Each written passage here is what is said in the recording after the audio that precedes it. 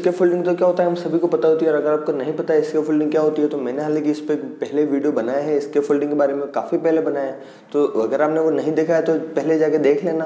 तो हालाँकि इस वीडियो में भी आपको इसके फोल्डिंग के बेसिक के बारे में बताऊँगा कि इसके फोल्डिंग क्या होती है, और बेसिकली इस वीडियो में टाइप के बारे में बात करने वाले कि कितने टाइप की इसके फोल्डिंग होती है। वैसे तो कंस्ट्रक्शन सेक्टर में मटेरियल के आधार पर जो इसके फोल्डिंग के टाइप्स को क्लासीफाई किया गया है, उसके कंस्ट्रक्शन सेक्टर में उसके यूज़ के आधार पर भी इसके फोल्डिंग को क्लासीफाई किया गया है। लेकिन इस वीडियो में बात करने वाले कि कंस्ट्रक्शन सेक्टर में उसके वर्किंग के आधार पर उसको किस किस नाम से बुलाया जाता है और उनके अलग अलग क्या क्या यूज़ है उस, उसके बारे में भी इस वीडियो में हम बात करने वाले हैं। तो सबसे पहले इसके फोल्डिंग के बारे में बात कर लेते हैं। इसके फोल्डिंग वो एक टेम्प्रेरी स्ट्रक्चर है जो कंस्ट्रक्शन यानी वर्कर अपने खड़े रहने के लिए बनाता है। उसको हम कहते हैं इसके फोल्डिंग जो रिपेयर वर्क में हम काम में ले सकते हैं या फिर कोई कंस्ट्रक्शन हो इन सभी चीज़ों में इसके फोल्डिंग काम काम में आती है। तो इसके फोल्डिंग है केवल एक टेम्प्रेरी स्ट्रक्चर है, कोई परमानेंट स्ट्रक्चर नहीं है। तो ज़्यादा इस वीडियो में टाइम वेस्ट नहीं करते हैं। Hello viewers this Mohit and you are watching civil technique दोस्तों, सबसे पहले बात करते हैं सिंगल स्के फोल्डिंग के बारे में। दोस्तों सिंगल स्के फोल्डिंग ब्रिक मशीनरी में यूज़ में ली जाती है और इसके जो पुडलक होते हैं, वो ब्रिक मशीनरी के अंदर ही जैसे कि इसके फोल्डिंग में होता है, इसके जो पुडलक होते हैं, वो ब्रिक मशीनरी के अंदर ही होल होल कर दिए जाते हैं और ब्रिक मशीनरी के अंदर होल करके इसके पुडलक को टेकाया जाता है ताकि जो पूरा स्ट्रक्चर है, उसको सपोर्ट प्रोवाइड हो। दोस्तों इसके फोल्डिंग में जो वर्टिकल स्टैंडर्ड होते हैं तो सिंगल इसके फोल्डिंग में वर्टिकल स्टैंडर्ड के दो वर्टिकल स्टैंडर्ड के बीच की जो इंटरवल होता है, वो होता है वन से वन मीटर और जो हॉरिजॉन्टल इंटरवल होता है, वो भी 1.2 से 1.5 मीटर का ही दिया जाता है। हॉरिजॉन्टल हम फुटलॉक को कहते हैं और वर्टिकल स्टैंड और वर्टिकल जो होते हैं, उनको हम कहते हैं स्टैंडर्ड दोस्तों, अब बात करते हैं डबल स्केफोल्डिंग बारे में। दोस्तों डबल स्केफोल्डिंग ब्रिक मशीनरी में यूज़ में ली जाती है क्योंकि ब्रिक मशीनरी में जो है वो होल करना काफ़ी मुश्किल हो जाता है क्योंकि पत्थर को, पत्थर बहुत ही हार्ड होता है और उसको तोड़ना बहुत ही भारी हो जाता है कॉस्टली हो जाता है, इसलिए हम डबल स्केफोल्डिंग यूज़ यूज़ में लेते हैं। दोस्तों डबल स्केफोल्डिंग में क्या किया जाता है कि पहला जो वर्टिकल स्टैंडर्ड होता है, उस पहला वर्टिकल स्टैंडर्ड जो मेन वॉल होती है, उससे बीस से तीस सेंटीमीटर दूर रखा जाता है। फिर एक से डेढ़ मीटर के बीच उसका दूसरा वर्टिकल स्टैंडर्ड रखा जाता है। यानी जो फ़र्स्ट से वर्टिकल स्टैंड होता है, दूसरा वर्टिकल स्टैंड उसके बीच का जो गैप होता है, वो वन से वन पॉइंट टू मीटर के बीच रखा जाता है। तो जैसा कि ये मेसनरी ब्रिक मेसनरी में यूज़ में ली जाती है, इसलिए इसे मेसन इसके फोल्डिंग में कहा जाता है। इसको इंडिपेंडेंट इसके फोल्डिंग के नाम से भी जाना जाता है।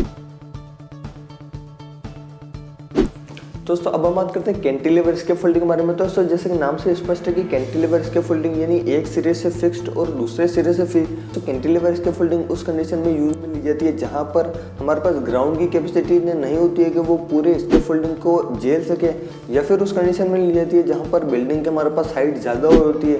उस कंडीशन में हम कैंटिलीवर इसके फोल्डिंग को यूज़ यूज़ में लेते हैं। कैंटिलीवर इसके फोल्डिंग हम डबल फ्रेम इसके फोल्डिंग के नाम नाम से भी जानते हैं। तो डबल फ्रेम इसके फोल्डिंग में क्या होता है कि बेसिकली जो हमारे पास ग्राउंड फ्लोर की वॉल होती है। सबसे पहले ग्राउंड फ्लोर के वॉल को बना लिया जाता है। उस ग्राउंड फ्लोर के वार को बनाने के बाद उसमें निडिल फंसाई जाती है ताकि फिर वो सपोर्ट प्रोवाइड करती है बाकी के ऊपर के स्ट्रक्चर को। तो इसको कैंटिलीवर के बिल्डिंग इसलिए कहा जाता है कि कि जो भी ग्राउंड लेवल होता है, वो ग्राउंड लेवल इसको सपोर्ट प्रोवाइड नहीं करता है। जो भी वॉल होती है, जो भी हम वॉल कंस्ट्रक्ट करते हैं, वो ही सारे इसको सपोर्ट प्रोवाइड करते हैं।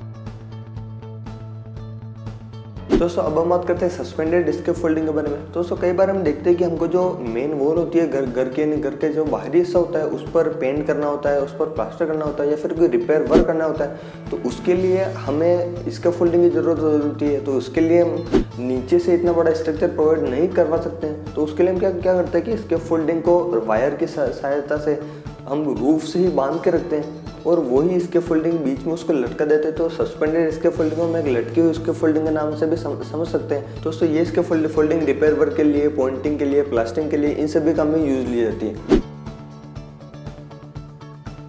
दोस्तों अब हम बात करते हैं ट्रेसल इसके फोल्डिंग के बारे में। तो दोस्तों जो ट्रेसल इसके फोल्डिंग होती है, उसके जो सपोर्ट्स होता है, वो मूवेबल होता है। मूवेबल का मतलब है कि जो ट्राईपोर्ड लगे होते हैं या फिर कोई रोलर सपोर्ट्स प्रोवाइड कर करवाया जाता है।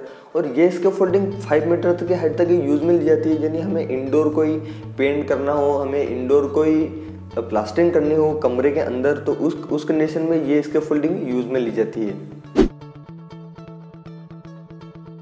दोस्तों, अगले इसके फोल्डिंग के बारे में बात करते हैं तो अगली इसके फोल्डिंग है स्टील इसके फोल्डिंग तो स्टील इसके फोल्डिंग हम वहाँ पर यूज़ लेते हैं, जहाँ पर हमें ज़्यादा सेफ्टी की ज़रूरत होती है, ज़्यादा हमें फायर रेजिस्टेंस की ज़रूरत होती है, क्योंकि स्टील जो मटेरियल होता है वो ज़्यादा सेफ़ होता है। बाकी से यानी जो बाकी जो इस दोस्तों बाकी जो इसके फोल्डिंग होती है वुड, वुडन की उससे स्टील की इसके फोल्डिंग ज़्यादा मज़बूत होती है ज़्यादा सेफ़ होती है फायर रेजिस्टेंट भी होती है। तो जहाँ पर हमें इन सब चीज़ों की ज़रूरत होती है वहाँ पर हम स्टील इसके फोल्डिंग को यूज़ में लेते हैं। कि इसके फोल्डिंग रेडीमेड मार्केट में मिल जाती है तो वो वहाँ पर हमें परचेज कर कर सकते हैं। हालाँकि ये कॉस्टली ज़रूर होती है लेकिन ज़्यादा सेफ़ होती है ज़्यादा ड्यूरेबल होती है।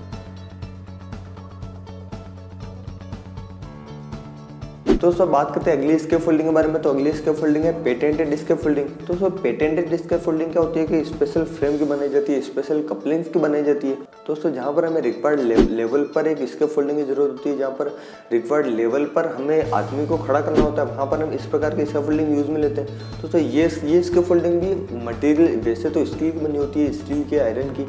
पर ये मार्केट में रेडीमेड मिल जाती है। तो सर कई कंपनी होती है जो इस प्रकार की स्किप फोल्डिंग को मैन्युफैक्चर करती है तो जिसको परचेज करना हो, वो वहाँ से परचेज करते हैं मार्केट से परचेज करते हैं। तो सब यही थी स्किप फोल्डिंग के सारे मेन मेन मेन टाइम मुझे उम्मीद है कि वीडियो आपको पसंद आएगी अगर ये वीडियो आपको पसंद आए तो इस वीडियो को लाइक करना बिल्कुल मत भूलना। और इस वीडियो को एटलीस्ट शेयर करना ताकि सबको पता चले इसके फोल्डिंग के टाइप के बारे में। मेरे सारे सोशल मीडिया के लिंक नीचे डिस्क्रिप्शन में तो वहाँ पर जाकर फॉलो करना बिल्कुल मत भूलना। तो फ़िलहाल की इस वीडियो में इतना ही। मैं मिलता हूँ आपसे अगली वीडियो में।